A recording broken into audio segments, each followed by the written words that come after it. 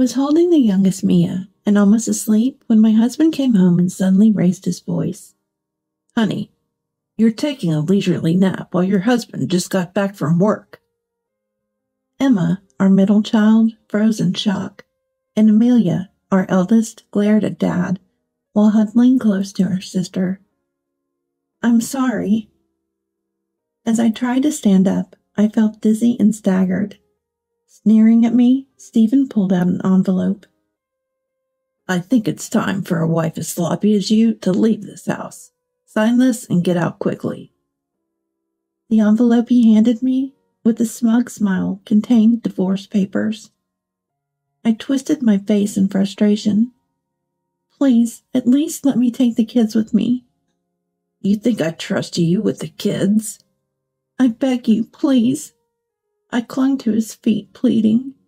Then, pushing Emma towards me, he said, You can take her and the baby but not Amelia. Stephen then grabbed Amelia from behind. No, let go of her. She's useful. I'll take good care of her. I tried to pull Amelia away, but Stephen pushed me back. Hey, Amelia, if you don't obey me, who knows what I'll do to your mom? He was using me to threaten Amelia. How could he? If you care about Amelia, you'll leave right away. With those words, he left the house. Holding my sobbing children, I started packing. I'm sorry, Amelia. I promise I'll come back for you. I hugged Amelia tightly, looking sad, and we spent our last night together. My name is Grace. I'm a typical housewife living with my husband, mother in law Aria, and our three daughters working part time three or four days a week. I met Stephen at work, where I was a full time employee when we got married. We dated and married smoothly, though we were in different departments. Three months into our marriage, Stephen suggested, I want three kids. He often showed he liked children, so I thought we'd have kids someday. But balancing work and parenting worried me. I think so too, someday, but we just got married, and I'm handling a big project now. Expressing my concern only made it worse, seeing my gloom. Don't worry, they're my kids too. I won't let you raise them alone. Stephen promised. I was grateful to be married to such a kind man, eager to have his children. A year later, when Amelia was born, Stephen took care of her as promised.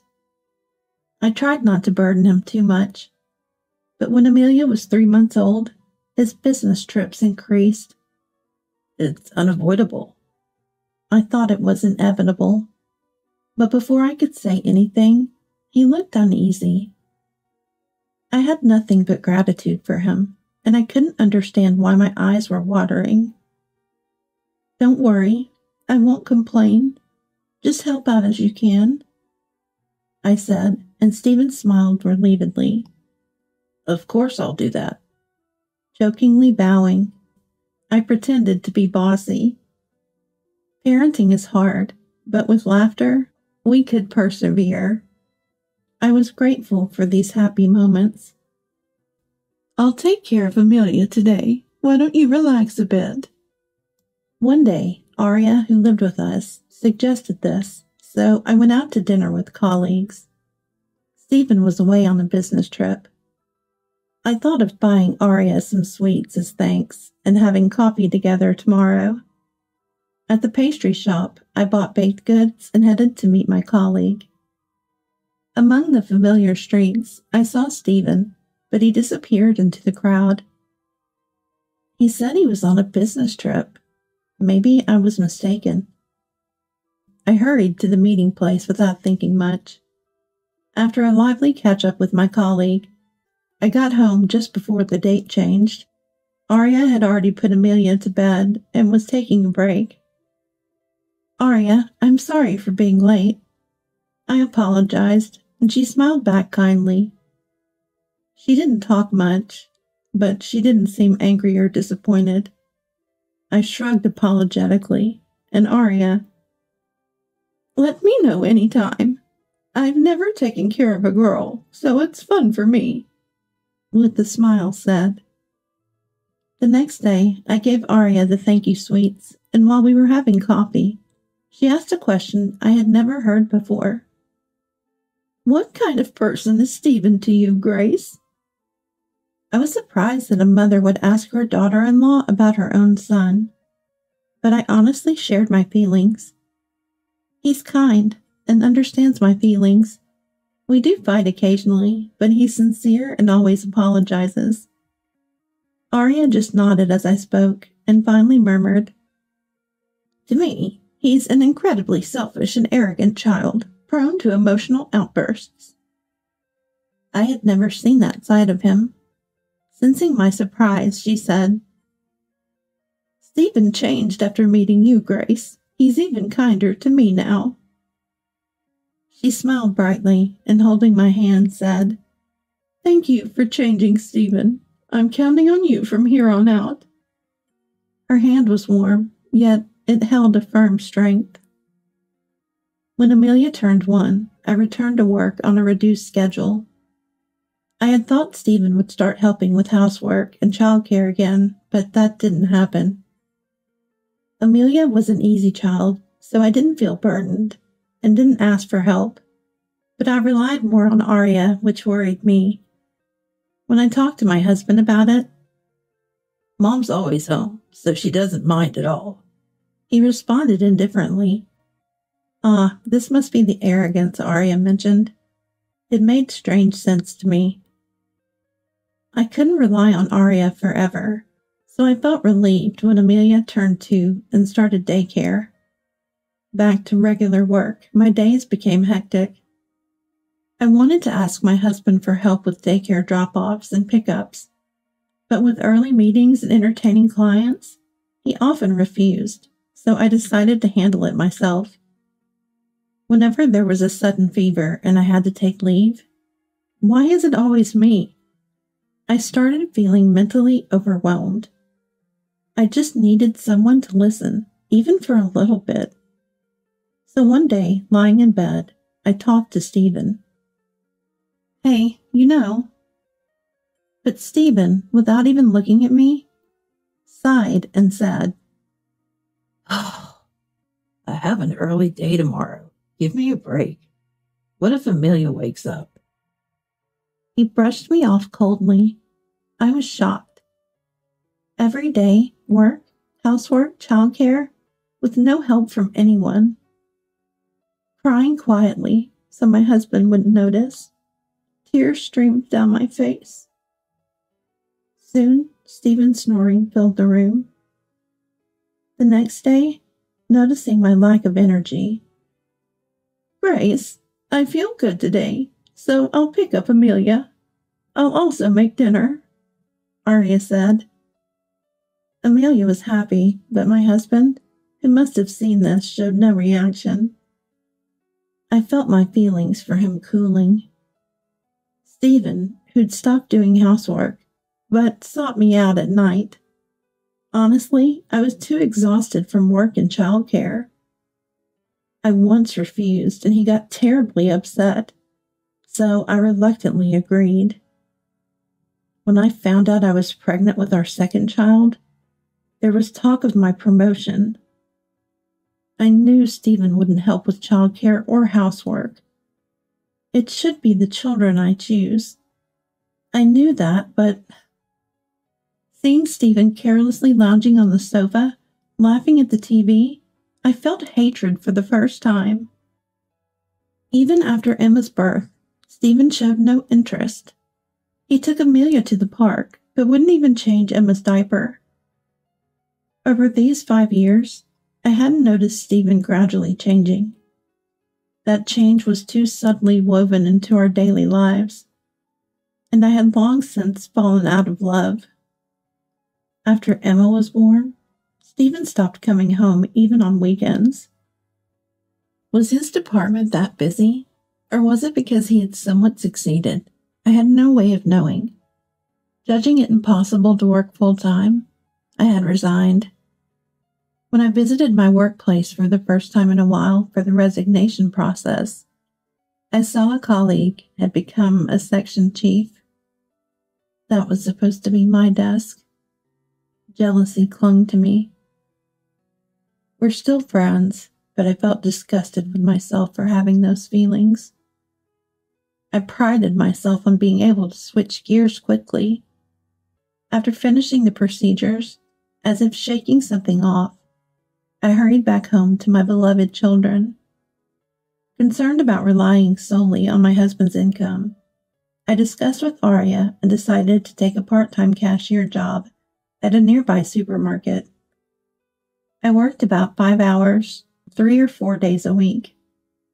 Around that time, I noticed a change in Stephen's behavior. As I was preparing dinner one day, he came home and suddenly shouted, I've come home tired from work, and this is the kind of sloppy meal I get. I was puzzled by my suddenly angry husband. Amelia was scared, and Emma started crying at the loudness of his voice. Ah, enough, keep it down. Make her stop crying. What are you shouting about at this hour? Arya came to see what the commotion was about, her gentle tone slightly calming the situation. But Stephen snapped back with a disrespectful tone. Mom, keep out of this.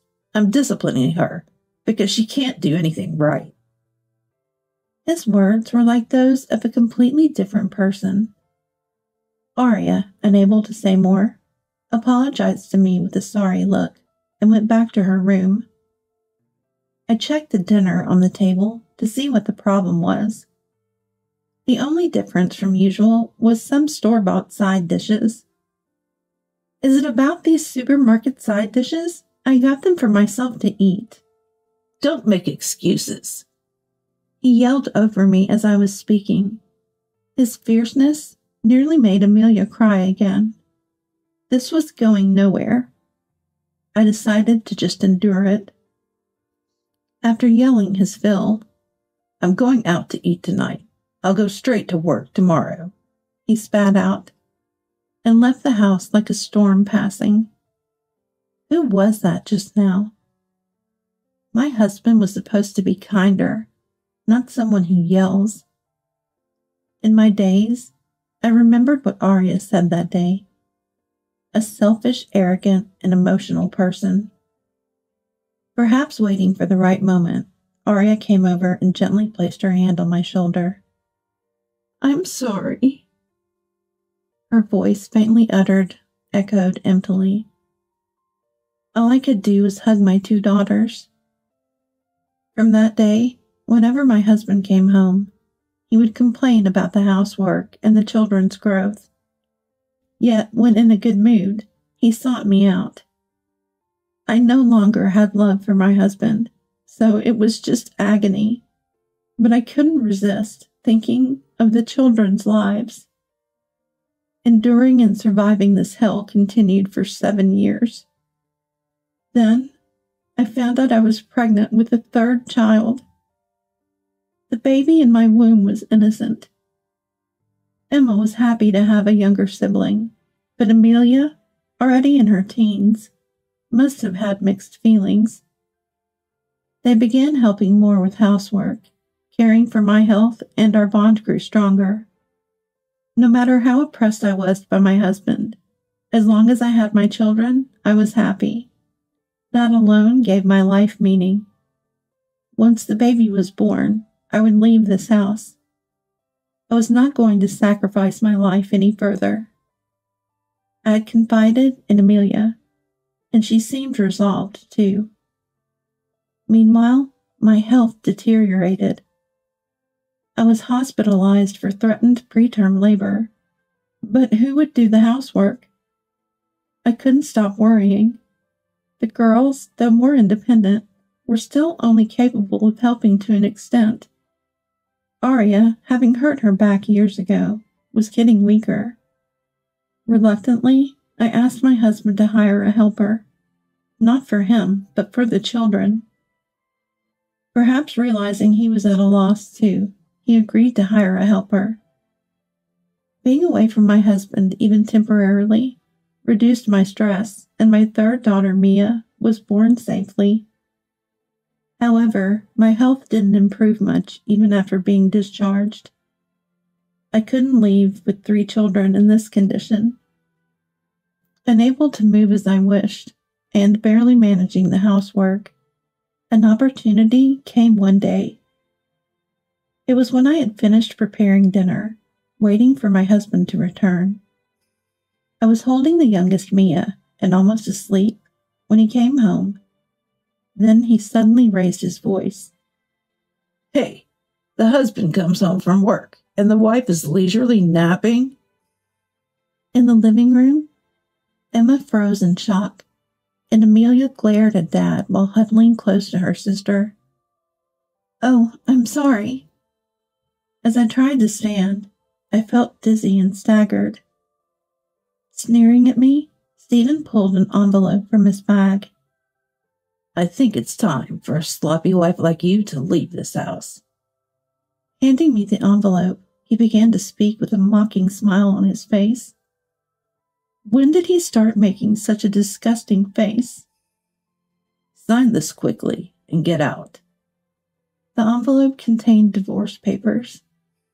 This day had finally come. Along with relief, anxiety also crept in. In my current condition, I wouldn't be able to support the children. Seeing my frustrated face, he laughed even more disgustingly. I couldn't comply too readily, or he might retract. I forced out a strained voice. Please, at least let me take the children with me. I had gambled that he would see the children as a nuisance, but his response blew my assumption away. You think I'd trust you with the kids?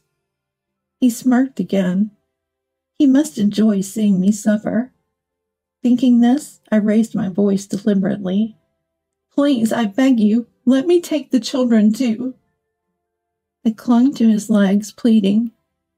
Then, pushing Emma towards me while holding her hand, he said, You can take her and the baby.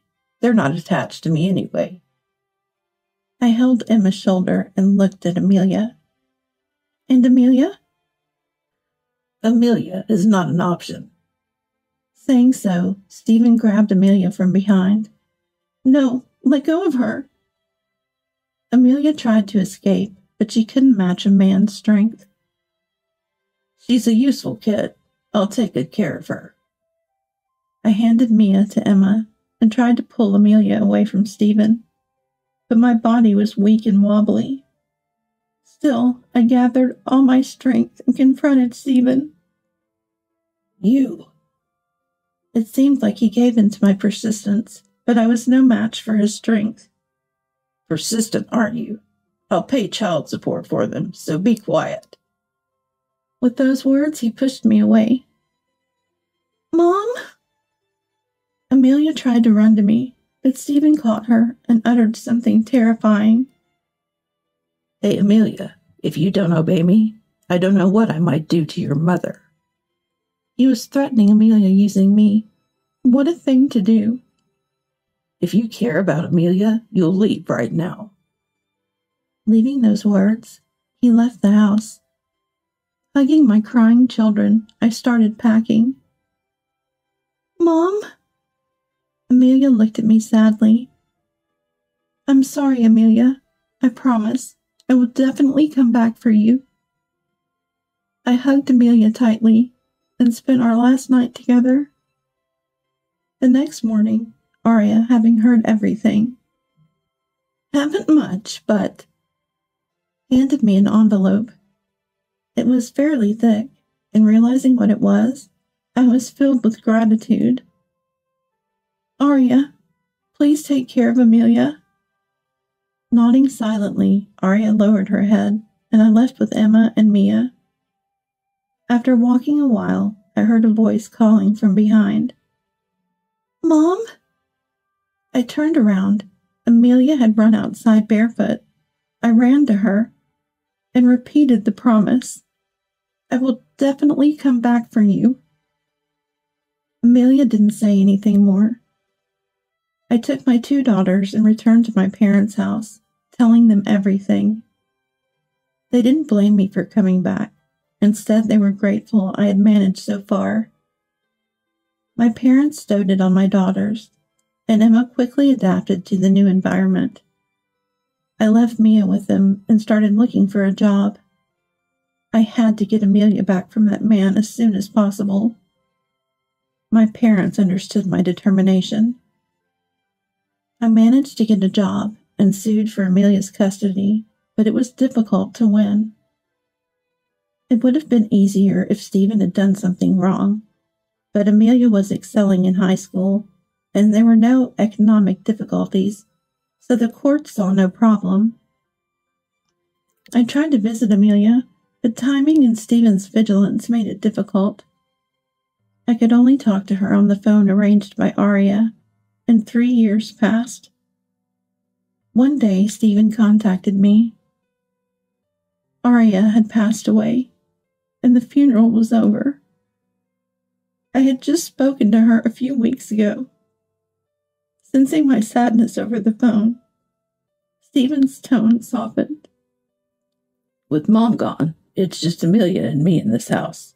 I find myself missing the days when you were here. I was speechless, astonished that that man who had yelled and oppressed me was now saying this. I finally understand the importance of family. Once he asked if we'd all come back to his place. I decided to play along with his words. Sure, I'd like to pay my respects to Aria and see Amelia too. Stephen seemed pleased on the other end of the phone, unaware of mine and Amelia's plan. When I reunited with Amelia, she was 18 years old. It had been three years since she last saw her sister, Emma, who was now a middle schooler and visibly nervous. Is she a new big sister? Mia didn't even remember Amelia's existence.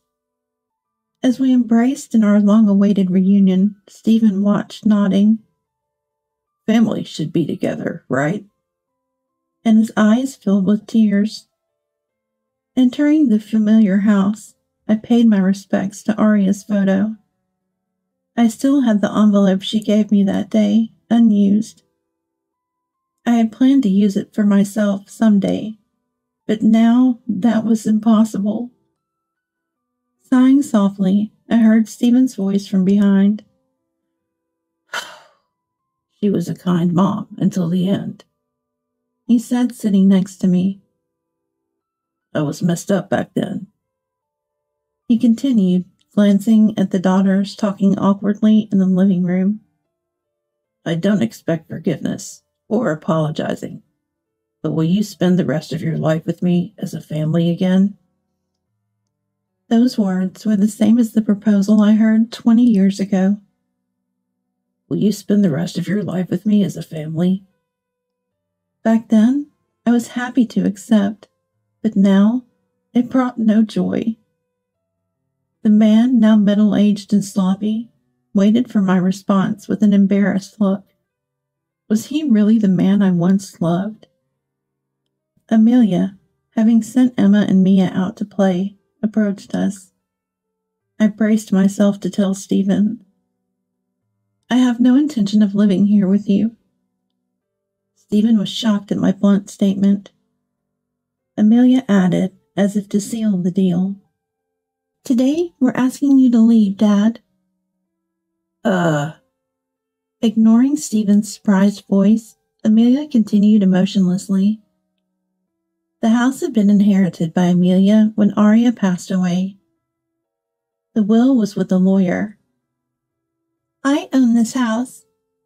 Her voice was calm, devoid of emotion.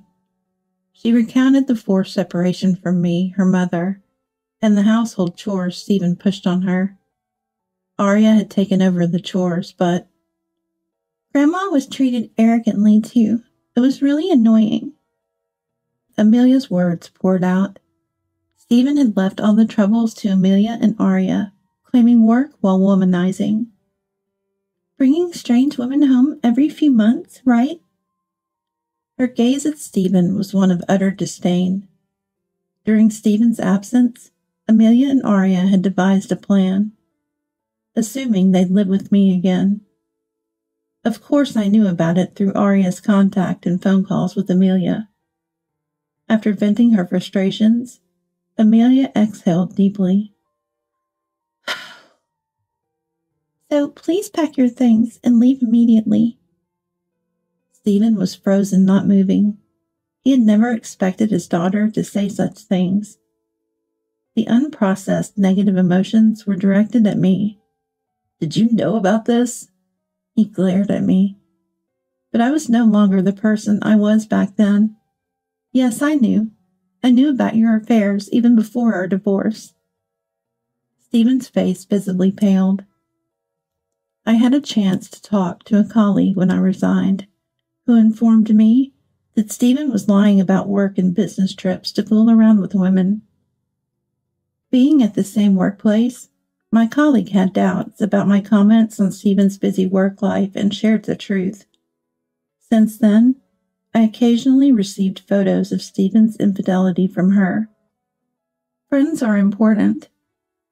That colleague was now Stephen's superior. Do you know where Mom works now? Stephen was already despondent, unable to even look at us. Friends are important. I was working in a law firm thanks to that colleague's introduction. Now, never show your face to us again. A few days later, Stephen's belongings were cleared out of the house, and I returned with Emma and Mia. Is this my new home from today? Mia's innocent smile was bright. After that, Stephen lived alone in an apartment. My friend, who is also his female boss, exposed his infidelities with some women, even taking him to court. She told me, laughing, I thought something was fishy when you got married. She was the person I dined with when Arya gave me some time off. Since the time I mentioned possibly seeing Stephen in a crowd, she had been keeping tabs on him. She was anxious about when to claim the divorce court security deposit. I'm truly grateful. Although it's been a while since I've seen her, she's always the same. She watches Mia playing in the cafe's kids' space with a gentle gaze.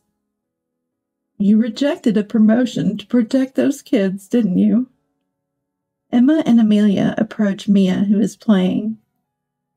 Make sure you don't let go of your happiness this time. She left the cafe with those words. Amelia is now a college student. She's studying in the law department, possibly aiming to become a lawyer. Even though I work and Stephen's security deposit for the divorce court will be paid, our family still has expenses. As if to fill the gap of the past years, I prepared sandwiches for Amelia.